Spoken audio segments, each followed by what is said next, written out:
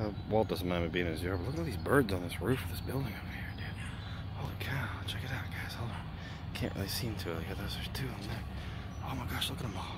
What the heck? What are they all doing? Creepy ass birds. You pooping everywhere? see if we can scare them.